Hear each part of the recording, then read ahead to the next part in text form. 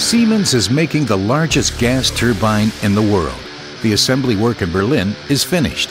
The SGT5 8000H is leaving Berlin.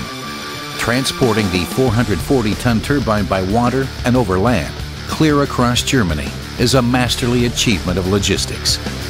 The destination is Irsching, over 500 kilometers away. The turbine will demonstrate its performance in a year long test run at this E.ON power plant on the Danube. For now, we are testing the gas turbine in open cycle, meaning we are testing the gas turbine on its own.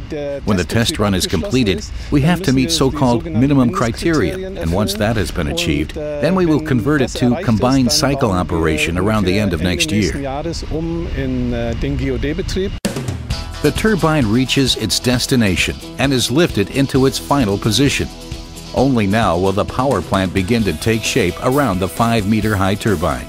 The assemblers hook the generator up to the SGT5 8000H. The first performance test is ready to proceed. 340 megawatts in standalone operation and up to 530 megawatts in combined cycle operation with an efficiency rating of over 60 percent. Siemens is venturing into a whole new dimension of innovative power generation.